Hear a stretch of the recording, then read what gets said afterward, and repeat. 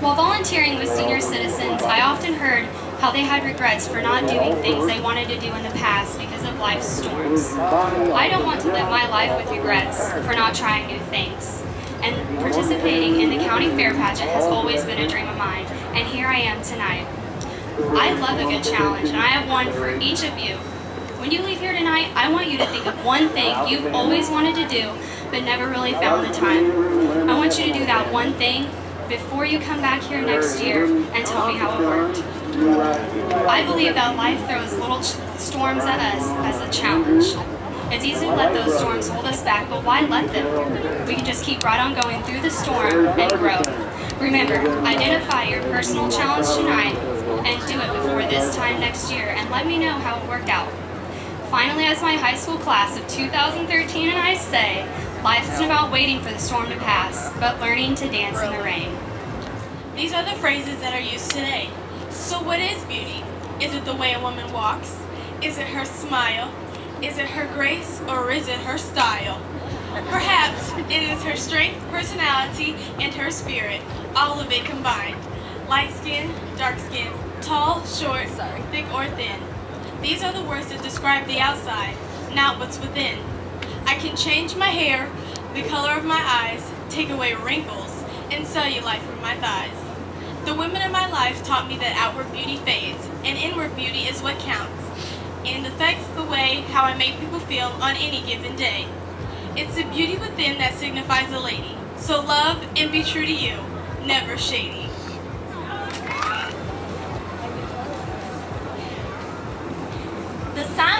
Square roots of any two sides of an isosceles triangle is equal to the square root of the remaining side. Many of you may recognize this as a quote from the Scarecrow in The Wizard of Oz right after he receives his diploma from the wizard. Some of you may recognize his statement as an attempt to explain the Pythagorean theorem. How many of you know, though, that his statement is actually completely incorrect? The small errors in the Scarecrow statement stand out to me because I am studying to become a high school mathematics teacher. As a math teacher, it will be my job to explain complex mathematical concepts in a way that will help students understand and apply them in their everyday lives. Then they can grow up to be whatever they dream of being. As for the Scarecrow, he didn't need a brain because he had one all along. The diploma from the wizard didn't help him much either. He needed someone that could help him develop the courage and the heart to put it all together in order to achieve his dreams.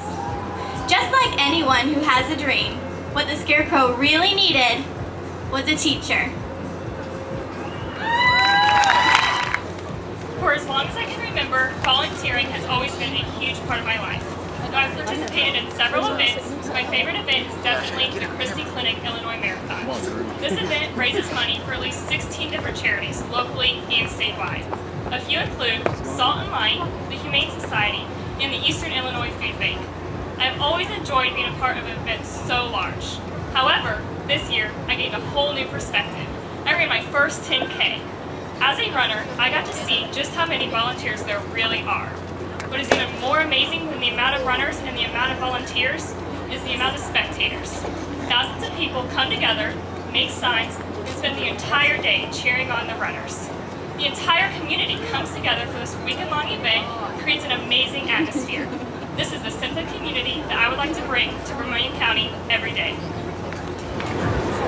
Square root of negative 1, 2 cubed, sigma, pi. All my math nerds out there know that that simplifies down to I ate some pie. And it was delicious. Like most high school and college students, I lead a very chaotic life with little to no consistency. But math brings consistency to my life. With the laws, rules, and theorems taught in math, using these mathematical tools, hopefully you can achieve the right answer. That is the second reason why I enjoy math so much. Math has definite right or wrong answers, which is a quality that is hard to find nowadays in the society we live in, where there's exponential amount of gray area for personal interpretation between right and wrong. Not that that's always a bad thing. But those two qualities, consistency and definitive answers, are the reason why I love math. Thank you. confidence. Some people are born with it, some people work hard for it, and some people don't have any idea how to get it. It is something you either have or you do not have. Confidence is something that can also be easily accomplished.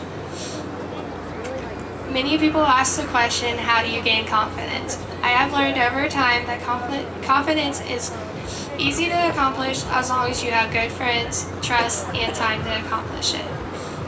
Miley Cyrus once said, nobody is perfect and everybody has flaws. As long as, whether it's your looks, your work, or competing on stage in a beauty pageant, confidence is key and beauty is confidence.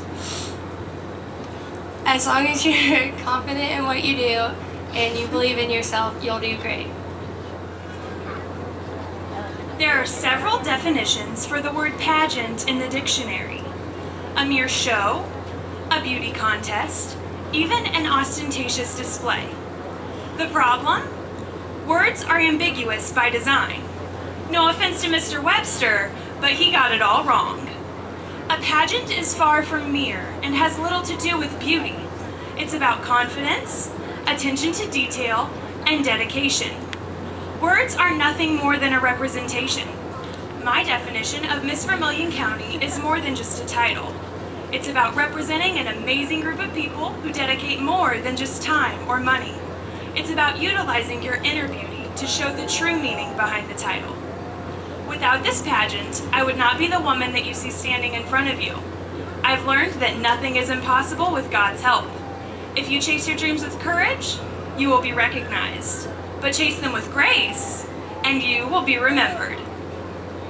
From the famous words of Paul Harvey, and on the eighth day, God looked down on his planned paradise and said, I need a caretaker. So God made a farmer. Agriculture has changed the face of our nation's economy that was once thought of as a farm with fields of crop and livestock.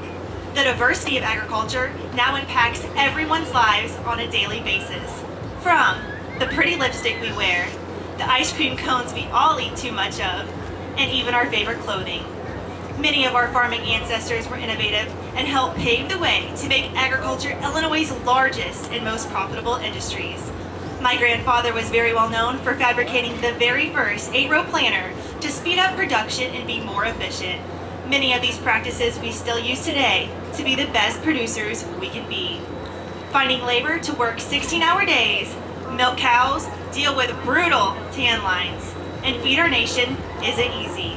So God made a farmer. Me, the dream vacation can be found not so far from home, and I get to take it August when I travel to the Illinois State Fair in Springfield. Typically, dream vacations involve hitting the spa or taking a guided tour through some unfamiliar land. My vacation includes doing laps around the Coliseum as I show my horses and working alongside my family to make sure that everything runs as smoothly as possible. A task not always so easy during horse show season. You may be dreaming about the best gourmet meal that can be had on your dream vacation. When I get to the state fair, I cannot wait to get to Coliseum Corner and get a hold of a fresh fair corn dog. The seven wonders of the world often draw quite the crowd of tourists. However, if I could add an eighth wonder to that list, it would definitely have to be the butter cow display. No matter how far across the globe I get to travel, the Illinois State Fair will forever be the best dream vacation and home away from home that I could ever ask for. Grandstands and some livestock barns. But when I walk through the gates of the Vermilion County Fairgrounds, I see what I have come to consider my second home as a 4-H'er for the past 11 years. I see the livestock barns and exhibit hall full of hard work and memories. I walk into the 4-H food booth and see volunteers and 4-H members working side by side. I see the fair board hurrying from place to place trying to make this fair the best it can be. And I see a lamb born on my farm now ready for the show ring. I see this fair in a different way than most not just with my eyes, but also with my heart. I am at home here with my fair family, and as Dorothy once said, there's no place like home. If I am chosen Miss Vermilion County Fair 2014, It will be my honor and my privilege to represent the county that I love and the fair that I call home. our attitude. Take for example, Tuesday, June 3rd. Everything that can go wrong with me that day did. I started my morning by spilling my hot tea all over me. Then my car broke down, which made me late for a meeting. That same day was also dance practice for the pageant, which I was also late for. Not to mention, I was not sure where to go. Once I got there, I realized wearing 4-inch heels may not have been a good idea. While videotaping, during the final spin, I tripped and almost face planted.